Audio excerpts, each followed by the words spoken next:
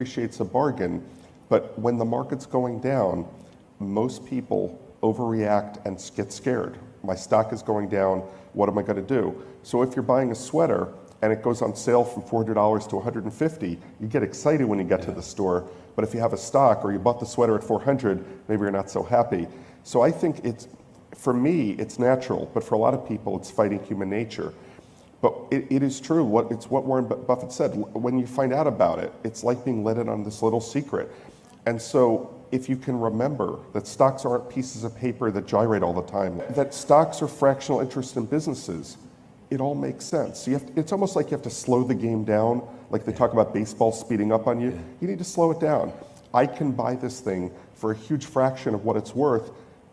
What am I worried about if it goes down a okay, little bit more? So what's the gift here, knowing what it's worth?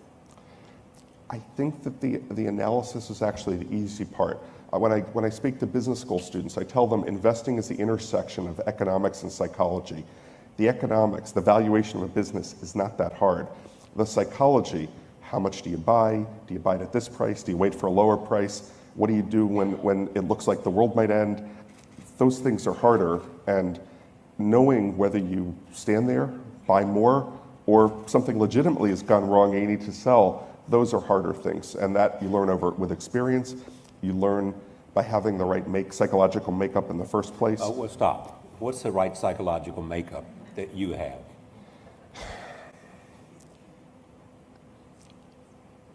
So patience would be one. Uh, value Willing to sit on cash would be another. Value investors have to be patient and disciplined.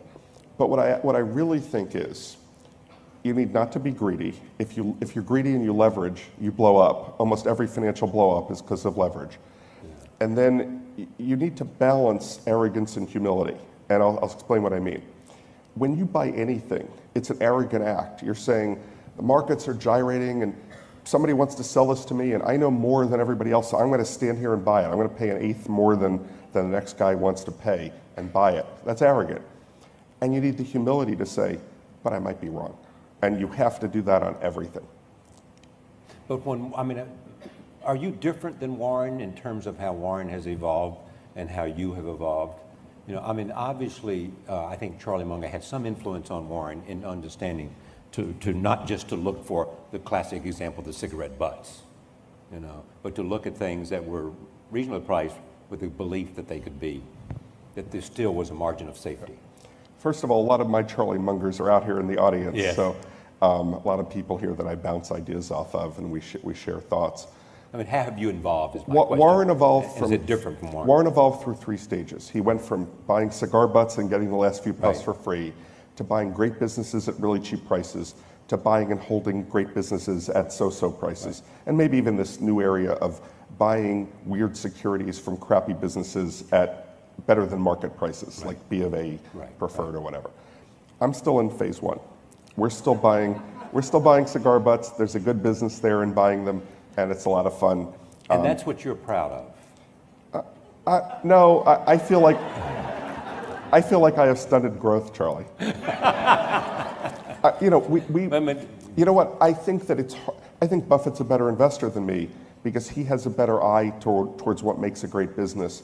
And when I find a great business, I'm happy to buy it and hold it. Most businesses don't look so great to me. But he also doesn't, I mean, he's not really focused on the gyration of the stock every day. Me neither. You're not either. I don't have a Bloomberg on my desk. I don't care. You don't have a Bloomberg on your desk? No. Because you M- Mike you, makes enough. What's on? Yes, I know. But what's on your desk then? A phone? A giant piles of paper that are at risk of falling on me at any moment, yeah, yeah. and I have a computer and a phone. Yeah.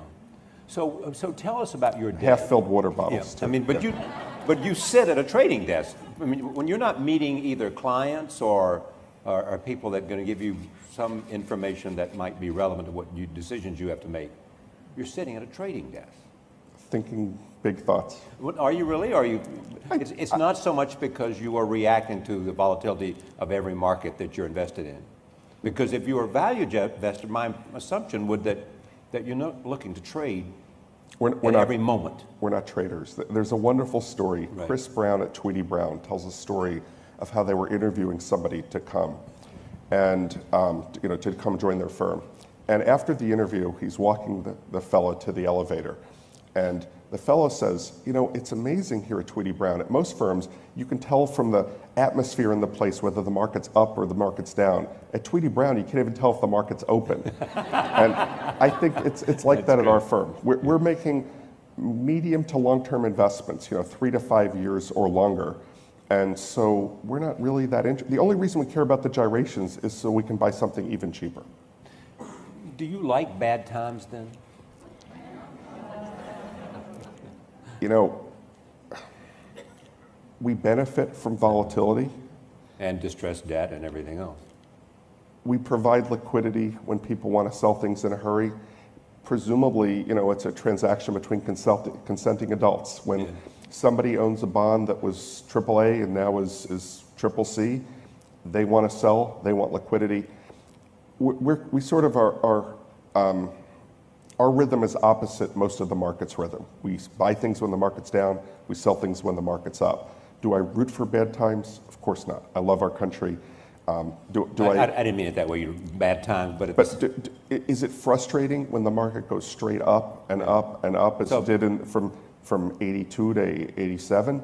It, it was frustrating, and I worry because just at those times, it's when the little guy gets sucked in, and the little guy finds it irresistible when, when the market's going higher and higher. The little guy gets pulled in by stories from their neighbor, stories at the cocktail party, and they hear about how much money people are making in the market. Char- Charlie, you, you probably know this, but the return from all mutual funds in the 1990s was 600 basis points higher than the average return from the investors in those funds during the same period.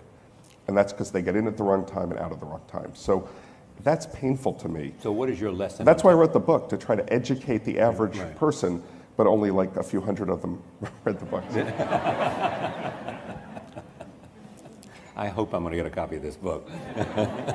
um, but can you talk to us about your philosophy of timing? If there is there no philosophy of timing, because you know you're looking at value and that you understand value, and, and you know, and essentially, the big decision for you is the buy decision more than the sell decision.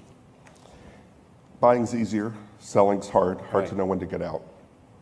There's no timing element. You can never tell how big a bargain you might get offered tomorrow. If somebody comes along and wants to sell you a dollar for 50 cents, you can never know if they'll want to sell to you at 40 cents tomorrow.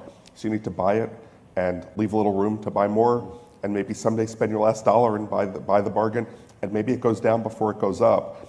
So you always are checking and rechecking your work. The critical thing, the, the, the thing that would cause you to lose your confidence when you're doing that, would be if you realized a dollar wasn't a dollar. You thought it was worth a dollar, but Greece failed, or the euro fell, or collapsed, and all of a sudden your dollar is only 30 cents, and now what you thought was a bargain is, is overvalued. So that's the dilemma. It's not so much figuring out what it's worth today, it's making sure it'll still be worth that same thing, or approximately that same amount tomorrow. So a lot of stocks are cheap for a reason, and uh, often a value investor will figure out the reason because everybody else has gotten sick of a management raping and pillaging a company, overpaying themselves, deploying capital poorly, um, taking advantage of the shareholders with, with free stock or, or, or huge options awards, um, or hiring their brother-in-law. So, so there are stocks that have been perennially undervalued because they're run by somebody who fits that profile a, novice value investor will come along and say, well, that looks awfully cheap. And Graham and Dodd didn't really place the quality of management as high as, as they might have. And so good managements add value. Good managements have lots of levers they can pull. They can buy back stock when it's undervalued. They can um, use the stock as currency when it's overvalued. Bad managements will think only about themselves first. And so those are early lessons, but, but profound lessons that, that I learned, um, learned them well.